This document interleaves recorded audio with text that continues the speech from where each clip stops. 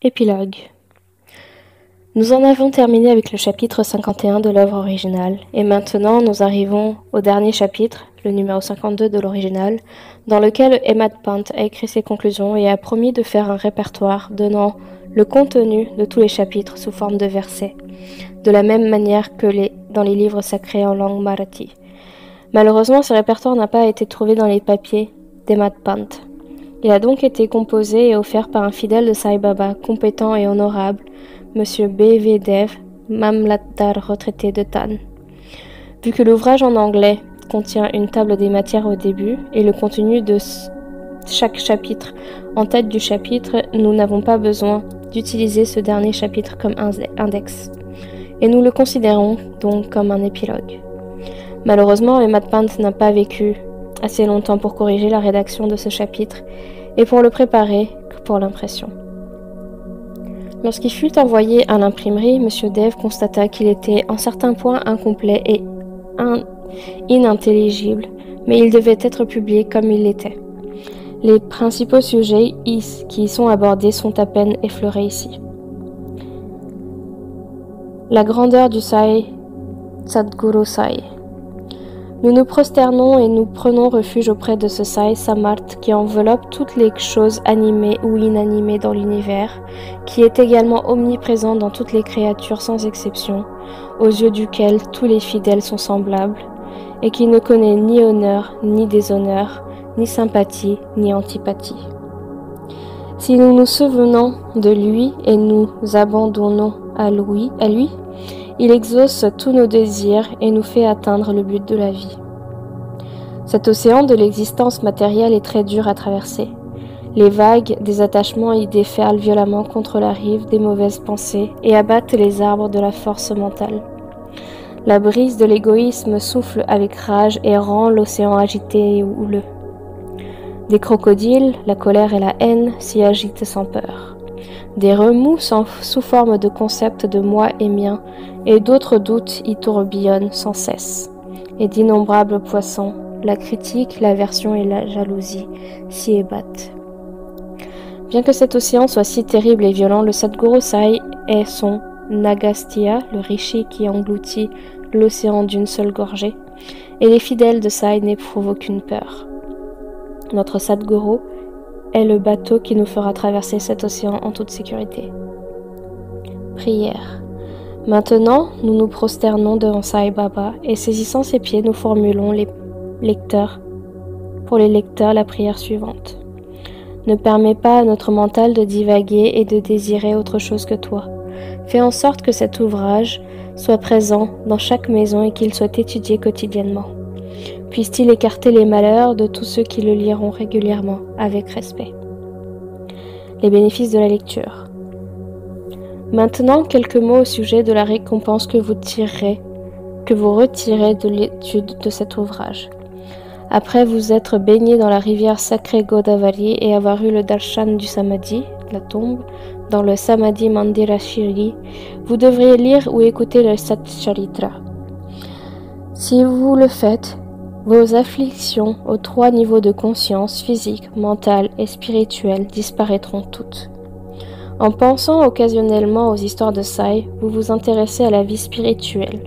Et si vous persistez, à les lire ou à les écouter avec amour et respect, toutes vos fautes seront annulées. Si vous souhaitez vous libérer du cycle des naissances et des morts, lisez les histoires de Sai. Souvenez-vous toujours de lui et devenez vous-même dévoué à ses pieds. Vous plongeant dans cette mer des histoires de Sai et les racontant ensuite aux autres, vous, leur trouverez une saveur toujours nouvelle et sauverez les auditeurs d'une souffrance future. Si vous continuez à méditer sous la forme de Sai, elle vous conduira peu à peu à la réalisation du soi.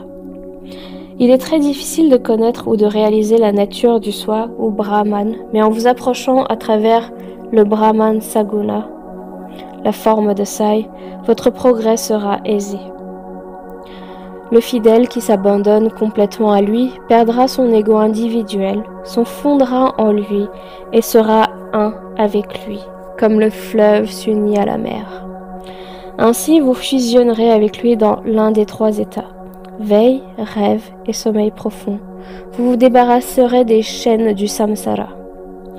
Si quelqu'un, après s'être baigné, lit ce livre avec foi et amour et le termine en moins d'une semaine, il verra disparaître ses malheurs. Ou bien, s'il l'écoute ou le lit quotidiennement et régulièrement, tous les dangers seront écartés sur sa route. Il obtiendra un bénéfice proportionnel à sa foi et sa dévotion. Sans posséder ces deux vertus, aucune expérience ne sera possible. Si vous lisez cet ouvrage avec respect, Sai sera satisfait, et supprimant votre ignorance et votre pauvreté, il vous conférera la connaissance, la richesse et la prospérité. La lecture attentive d'un chapitre par jour vous apportera une félicité illimitée. Celui qui a à cœur son propre bien-être devra l'étudier attentivement. Alors il se souviendra toujours de Sai avec reconnaissance et joie, vie après vie. Cet ouvrage devrait être lu chez soi, particulièrement lors de Guru Purnima, jour de pleine lune de juillet, Gokul Ashtami, fête de Krishna, Rama Navami, l'anniversaire de Rama, et le dernier jour de Dashara, le jour anniversaire du décès de Baba. Si vous étudiez attentivement ce précieux ouvrage, tous vos désirs seront exaucés. Et visualisant constamment les pieds de Sai en votre cœur, vous traverserez aisément le Bhavasagara, l'océan de l'existence matérielle.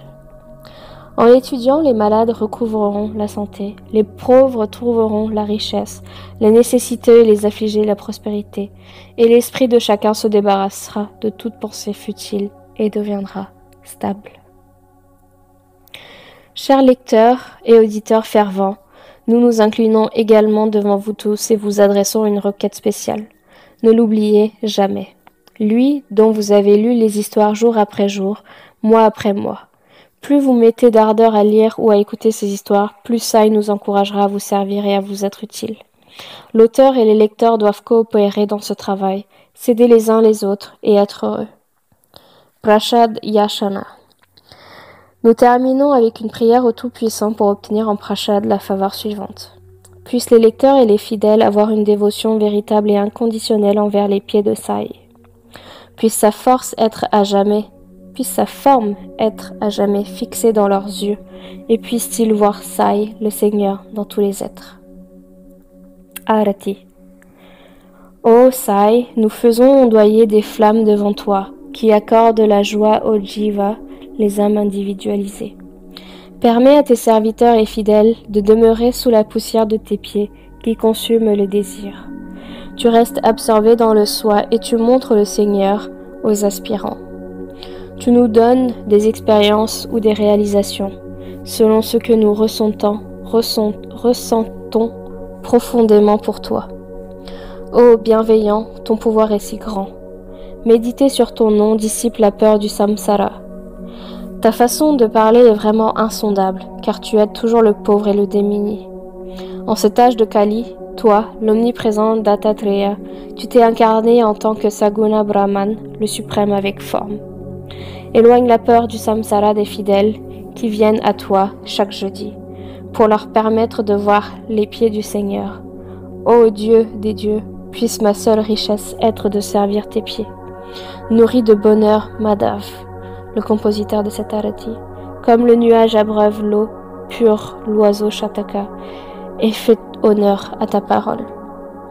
Je me prosterne devant Shri Sai, paix à tous les êtres.